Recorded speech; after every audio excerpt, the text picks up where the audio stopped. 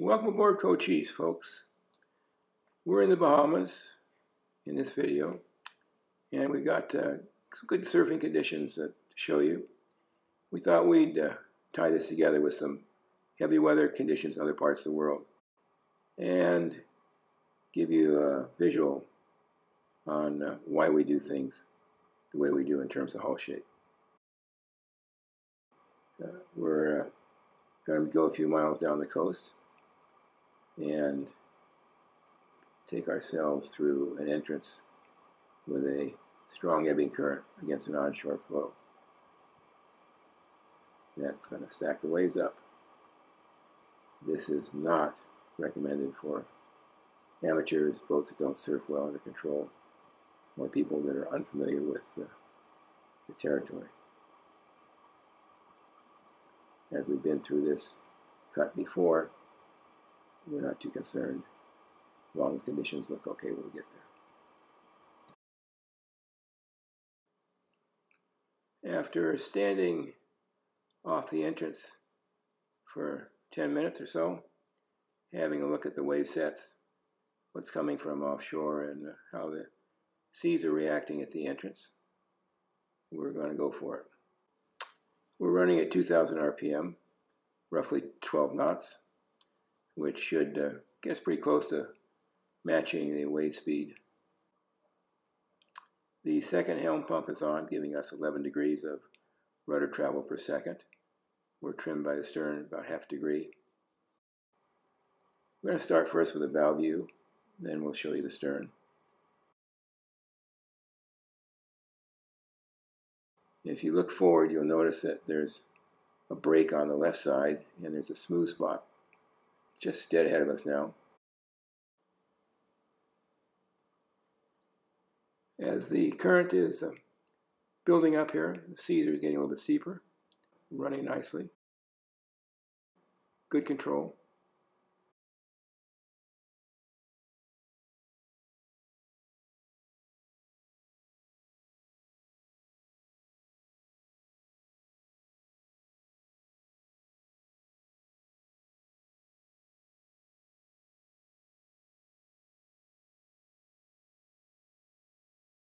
And we're in calm water. That was easy.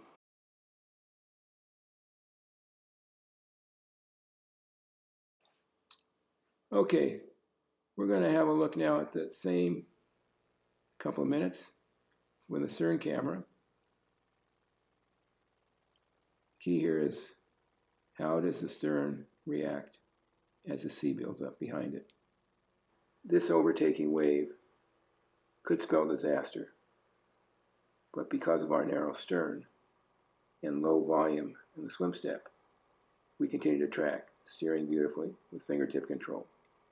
Any more volume aft, either through beam or height, would create problems for us.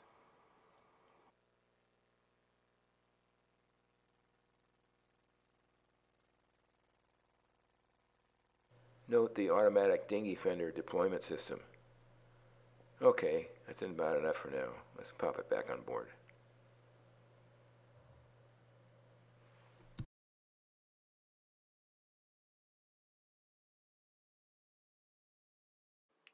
Let's take a look now at the bow and stern video camera synchronized together.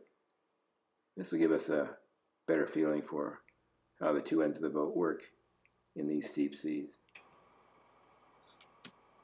Watch how we start to accelerate down the wave. The wave is building up behind the stern, but it's not lifting the stern. So the bow stays right in the normal flotation plane. Cochise's speed is matched almost perfectly to the wave. We're now going to slow the uh, video down to quarter speed so we can study what's happening a little more detail. Keep an eye on the flotation plane of the bow as this wave builds up on the stern. That looks kind of scary, but that's exactly what she's designed to do and what you want to have happen in these conditions. The bow stays at an even flotation plane while the stern is immersed. Deeper immersion equals better control. more efficient props, better turning speed for the rudders. That wasn't so bad, was it? Let's drop the uh, hook for a few minutes and catch our breath. Take an afternoon nap, get up, maybe have a little liquid refreshment, and then let's look at something even more interesting.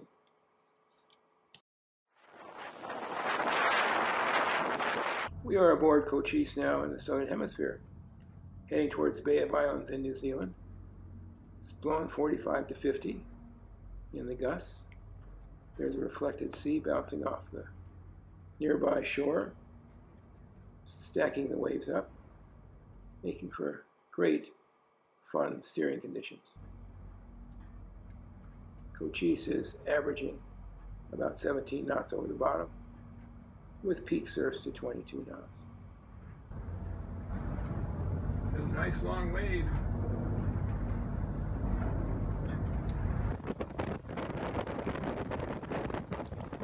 Although the sea state is completely different than what you saw before. The balanced ends and fine entry and exit allow precise steering control, without which we would have had to slow way down or turn around and heave to, jogging slowly into the waves. There's one other factor at work in these conditions. The anchor platform forward and the rub rail are designed to act as planing surfaces. On occasion, when we overrun the wave that we're riding, driving the bow into the back of the next sea forward, these provide a bit of extra lift, keeping our foredeck nice and dry.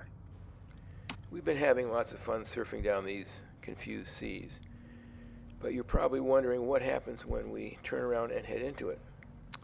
So let's go back to the northern hemisphere, this time on a short trip between Beaufort, North Carolina and Nantucket. What follows is one of the most interesting uphill wave systems we've ever encountered the result of two opposing wave trains colliding, creating standing waves on occasion. We've been running with a lovely southwesterly breeze up until about eight hours ago, when it suddenly switched to the northeast. And what we're seeing now is the result. Every couple of minutes, a larger than usual set of standing waves appears We've slowed Cochise down to three to four knots, the minimum speed we've found necessary to maintain really good steering control. Our second helm pump, doubling rudder response speed, is on. The autopilot is set at its most aggressive steering mode, and for the last six hours it's been hands off, except for keeping a close eye on things. This high view looking aft gives you the best perspective on the overall sea state.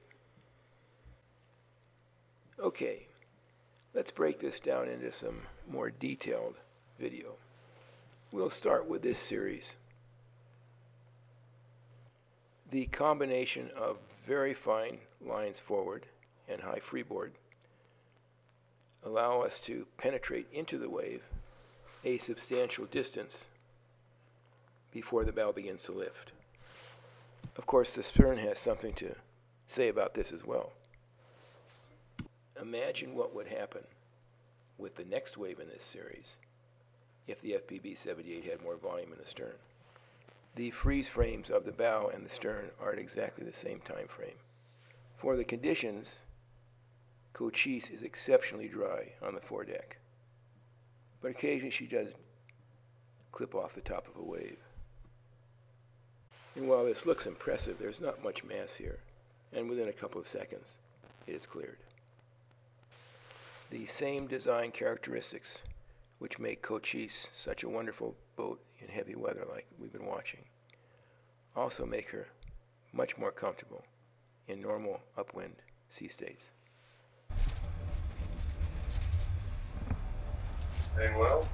Got two and a half to three meter seas on the shoulder and 10 knots plus.